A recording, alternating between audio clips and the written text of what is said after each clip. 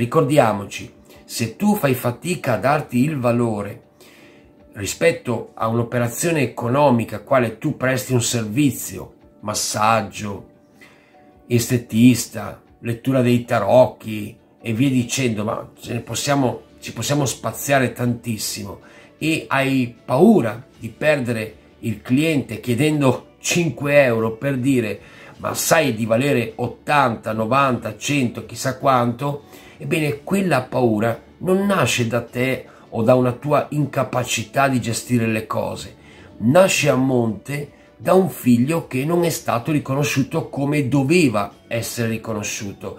Perché io qui ho scritto una frase, ho scritto il padre deve riconoscere il figlio nel momento in cui va riconosciuto.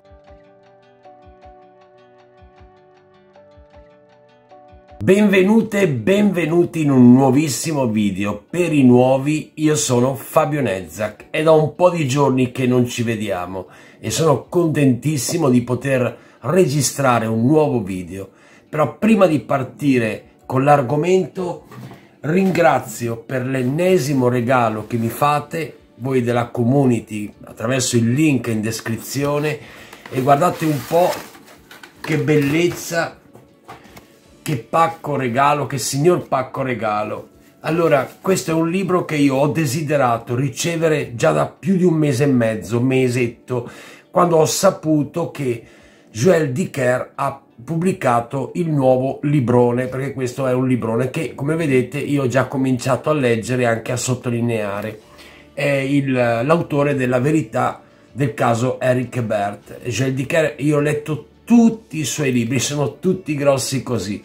Conosco persone che lo amano, lo apprezzano, conosco anche una lieva scrittrice che c'è pure, eh, diciamo così, è pure iscritta alla pagina Instagram di lui e quindi insomma è un autore che piace tantissimo. Ve lo consiglio tantissimo questo, questo autore, poi ognuno ha i suoi gusti. Voglio leggervi cosa ha scritto, chi è, allora, quindi chi ringrazio questa volta io ringrazio con tutto il nostro affetto, perché è marito e moglie, da Mary. Mary carissima che io oggi ho sentito per telefono, ci ho parlato un bel po', come faccio praticamente sempre con le persone che mi, invitano, mi inviano i libri. Vi ringrazio tantissimo Mary e marito. Bene, passiamo all'argomento di oggi vi sarà capitato almeno una volta nella vostra vita di sentirvi rifiutati, rifiutati per un'idea, rifiutati dal partner, rifiutati in qualsiasi tipo di argomento possibile che possa girare nella nostra vita ed è una ferita di non poco conto. Ovvio è che quando ti senti rifiutata come persona ti chiedi ma perché mi è accaduto tutto questo e la lettura che diamo il più delle volte si riferisce agli ultimi 5 minuti, gli ultimi 5 giorni o qualcosa comunque che ha a che vedere con il rapporto che hai con l'altro che ti ha rifiutato eh, ma stretto nel tempo. Quello è un errore perché in realtà l'origine del rifiuto è molto molto più antico, non è gli ultimi 20 giorni, anche l'ultimo anno, è molto molto più in là. Quello che io ora farò sarà prendere la mia esperienza sul campo, visto che tutti i giorni incontro, grazie a Dio, tantissime persone in sessione quindi la mia stessa esperienza si va affinando giorno per giorno e vi farò un elenco, sarà minimo perché poi ce ne sarebbero tantissime altre di cause, di varianti, ecco, che noi possiamo associare come causa del rifiuto. Ma ora vi ricordo di mettere un bel like a questo video, di iscrivervi al mio canale se ancora non l'avete fatto, cliccando sulla campanellina, così vi arrivano le mie notifiche. E ora, sigla! Va da sé che ognuno di noi è dentro ad un serbatoio di, chiamiamole, memorie, che però si definiscono meglio con il termine di predisposizioni. Cosa sono le predisposizioni? Beh, sono quelle, quegli eventi a cui noi siamo per l'appunto predisposti ma che si differenziano dai predestinati. Predestinati insomma significa che il tuo destino è già tutto segnato.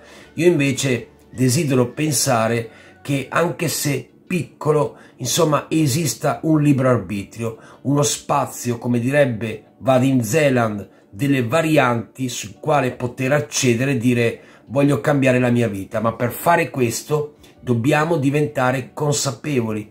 Non è sufficiente appendere un diploma al muro, dire ho fatto tre livelli di questo, cinque di quest'altro, dobbiamo consapevolizzarci, prendere consapevolezza e comprendere i meccanismi inconsci ed è quello che io cerco di fare tutti i giorni in sessione e attraverso i miei video. La verità non ce l'ha in mano nessuno, però io cerco nel mio piccolo di contribuire per arrivare ad un pizzichino di verità. Ci sono due tipologie di predestinazioni, o meglio, che nascono poi, da dove nascono poi le predisposizioni.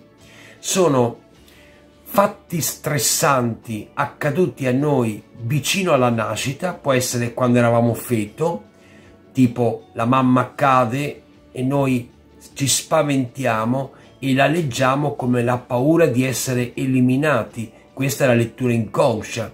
Oppure successivamente con i pianti talvolta isterici di un bambino, nei primi soprattutto, chi mi segue se lo ricorderà, i primi 18 mesi, quelli sono i mesi più importanti che determinano le nostre predisposizioni, cioè quello che accade nei primi 18 mesi è praticamente il marchio che determinerà quali saranno le nostre varianti di vita che potremo anche cambiare, ma ripeto sempre osservandoci dentro, comprendendo i meccanismi più profondi.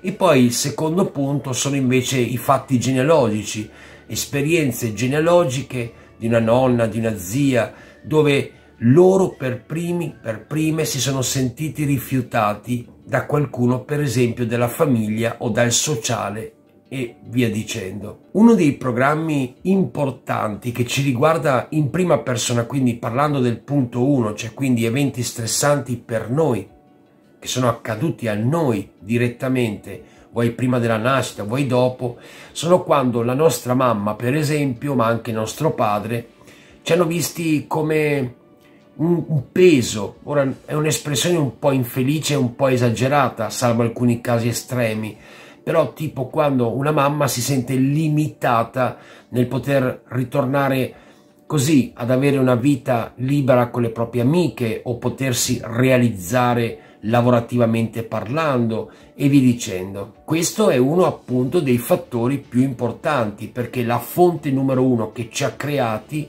mamma e anche papà, se loro per primi, anche attraverso una comunicazione non verbale e persino non chiara a loro stessi, noi per loro siamo come un qualcosa di scomodo, magari in forma lieve, beh, quella forma lieve può diventare un vero e proprio rifiuto vissuto in età adulta da parte di qualcuno della società o, il partner futuro. E parliamo magari di frazioni di secondo dove la mamma e il papà facevano tra loro dei ragionamenti del tipo ve ne faccio uno?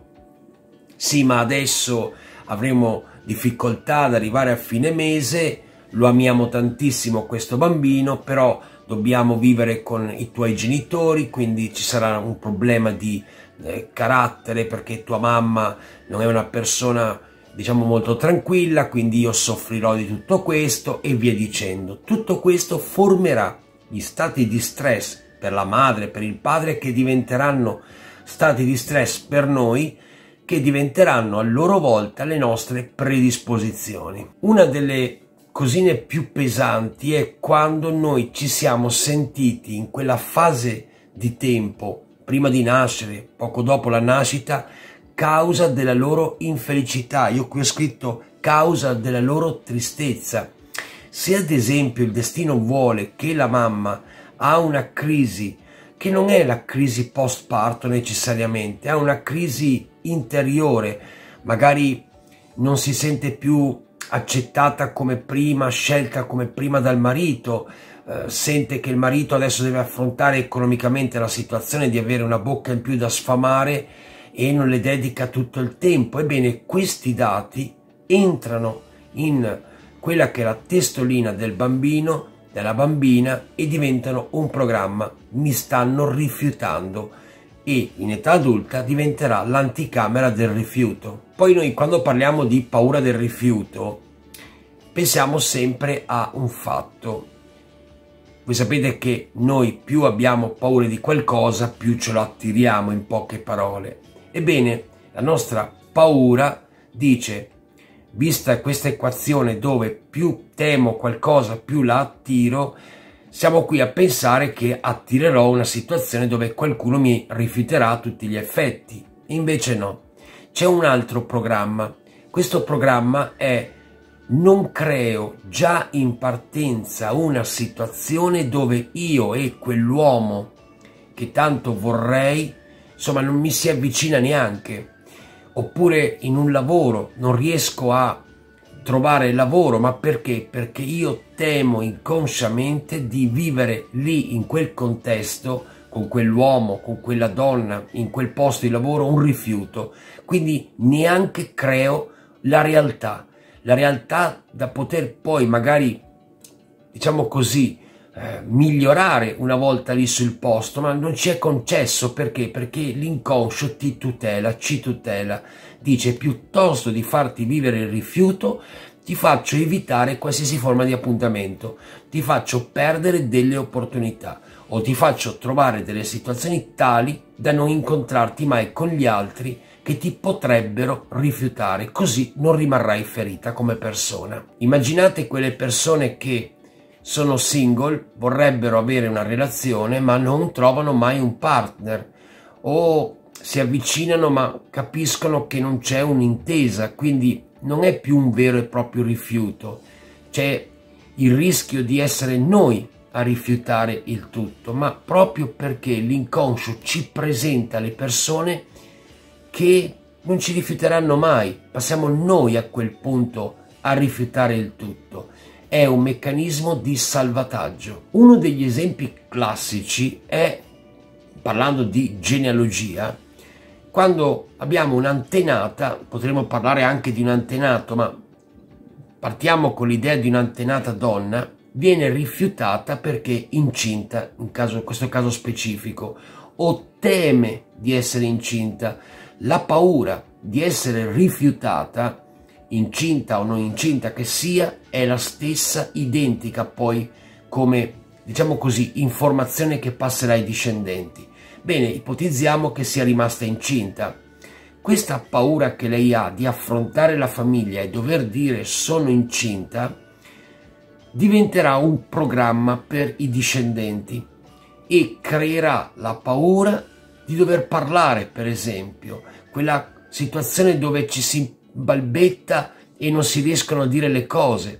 Tutto perché questa zia ha dovuto trovare il coraggio di parlare dicendo sono incinta di un uomo magari con 40 anni più di me, che un tempo era inaccettabile, soprattutto se non si era nemmeno sposati. Quindi ho detto che non necessariamente si è verificato il fatto, ma la memoria passa lo stesso perché Facciamo un esempio che alla fin fine scopre di non essere incinta. Era stato un errore, il ciclo aveva avuto un ritardo e via dicendo. Ma vi ricordate, la paura attira ciò che noi temiamo. Quindi ci diamo una zappata sul piede in questo modo. Però funziona così. E il discendente che cosa eredita? Eredita quella paura, la paura di essere rifiutato in ogni caso. Altro esempio, e mi è capitato più di una volta un'antenata che poi è venuto fuori, mi sembra di aver capito, in alcune costellazioni, era rimasta incinta, era andata ad abortire illegalmente, quindi non c'era neanche più il bisogno di andarlo a dire ai genitori, sempre che non arrivasse la voce, ma so che era ben organizzata la cosa, questo mi sembra di ricordare, però l'informazione passerà lo stesso è inevitabile. Un altro dei casi che possiamo avere associati alla genealogia, quindi tra i nostri antenati, riguarda il posto di lavoro. Per esempio, tuo nonno aveva già una certa età, era in prossimità della pensione, ma non sapeva utilizzare tecnologie moderne in quel momento. Si è trovato quindi con qualcuno vicino molto più preparato, un know-how migliore si direbbe. Ebbene, questo know-how migliore e soprattutto perché l'altro è più giovane, quindi aspetto biologico, lo mettono in una difficoltà e in una forma di svalutazione e di un conflitto territoriale, nel senso tu qui non ci puoi più stare, che diventerà un bel sassone grande per i discendenti, non solo in ambito lavorativo, perché può diventare per assurdo un qualcosa che ci fa sentire rifiutati o ci fa vivere il rifiuto in un altro ambito. Cioè voglio aprire una parentesi, una carezza in meno che non abbiamo ricevuto quando eravamo bambini non necessariamente in età adulta diventerà una carezza in meno, può diventare una banconota in meno. I settori, come dico sempre all'inizio delle mie sessioni, si intrecciano talmente tanto che non si distingue l'affetto dal denaro, per fare un esempio. Una delle memorie, direi, più pesanti tra quelle che ho elencato, ecco, è quella dei figli non riconosciuti. Sapete quante volte mi si rivolgono le persone in sessione dicendo che vogliono migliorare il loro stipendio, le loro cosine economiche o lavorative, e io faccio presente talvolta, a meno che non sia la persona stessa a dire ci sono arrivato perché mi succede anche questo, grazie a Dio, e mi trovo di fronte a una situazione dove non c'è stato un riconoscimento tra un figlio e il proprio padre, ad esempio, talvolta anche la propria madre, ma è già più raro. Cioè un padre rifiuta, oppure non è che rifiuta, è che proprio nel periodo in cui stava per partorire la moglie, o era in guerra, perché era stato chiamato in guerra, o era ritornato ad emigrare e disse torno dopo qualche mese dopo che è nato il bambino, insomma non era presente, anche magari per malattie o per inconvenienti di vario genere, beh, quel non riconoscimento diventa un sono in difficoltà, dice il discendente, nel chiedere denaro per far sì che io presti un servizio, ma non riesco a chiedere i soldi che merito. Quante persone hanno paura di dire il mio servizio vale tot? Non è che nasce dal niente, nasce da un mancato riconoscimento in genealogia. Ricordiamoci, se tu fai fatica a darti il valore rispetto a un'operazione economica quale tu presti un servizio massaggio, estetista, lettura dei tarocchi e via dicendo, ma ce ne possiamo, ci possiamo spaziare tantissimo. E hai paura di perdere il cliente chiedendo 5 euro per dire ma sai di valere 80, 90, 100, chissà quanto, ebbene quella paura non nasce da te o da una tua incapacità di gestire le cose, nasce a monte da un figlio che non è stato riconosciuto come doveva essere riconosciuto. Perché io qui ho scritto una frase, ho scritto il padre deve riconoscere il figlio nel momento in cui va riconosciuto e tutto deve fluire perfettamente bene. I discendenti, se il padre non ha riconosciuto bene il proprio figlio, ne pagheranno in un mancato riconoscimento del proprio lavoro.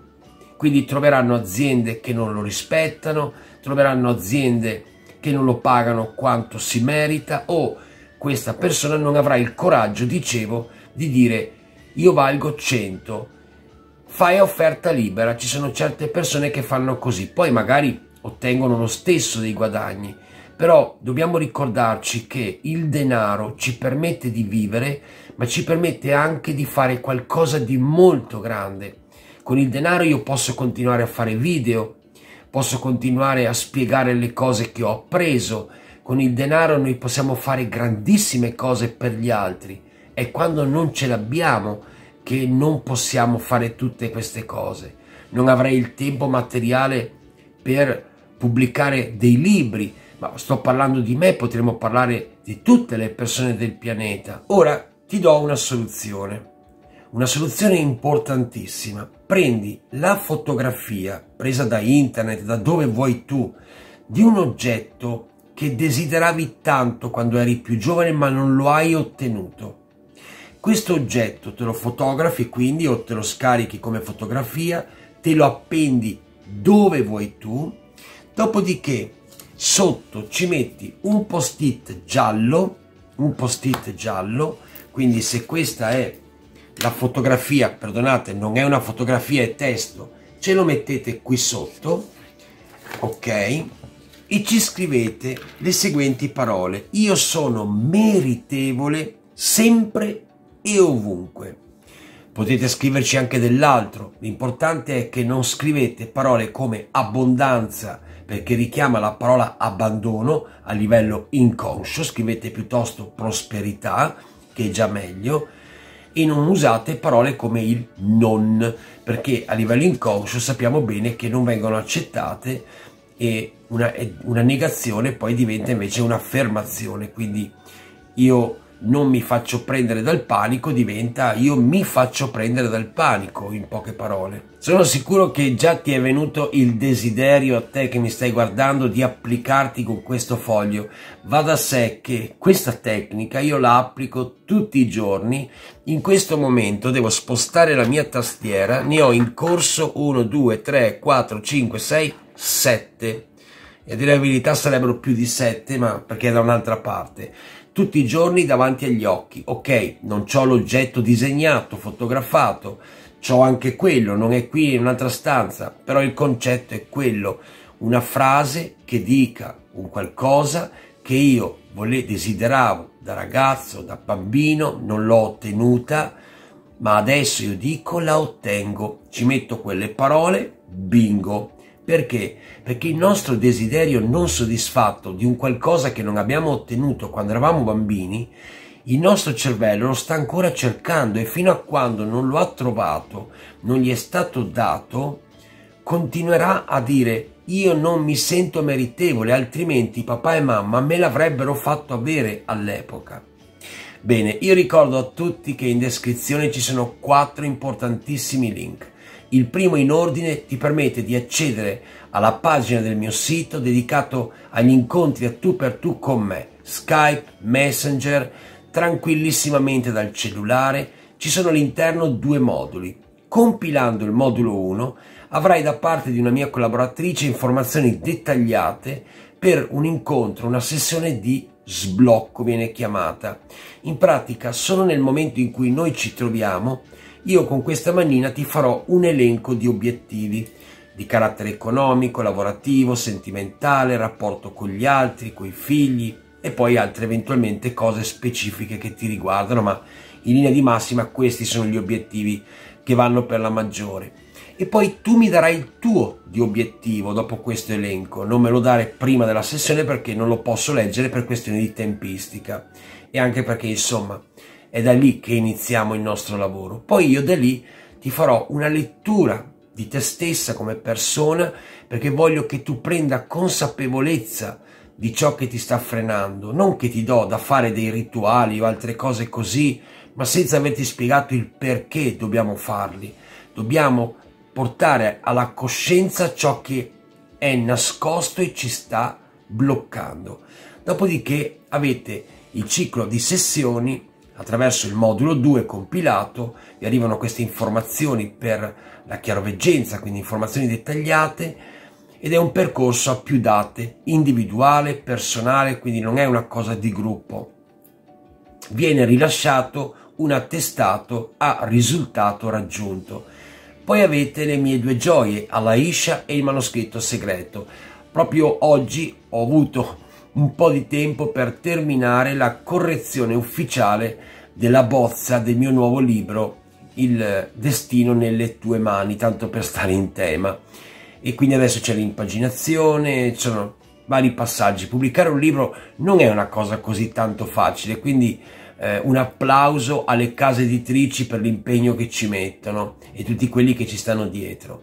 Questi due libri, Alaisha e manoscritto segreto, sono due saggi di psicobiogenealogia, quindi studio dell'inconscio, eh, della genealogia, tutto quello che potete sapere per migliorarvi, però romanzato, quindi ci sono delle, perdonate, delle storie, ho toccato il microfono, delle storie che io ho raccontato per rendere il tutto più comprensibile e che acchiappa anche un po', ecco.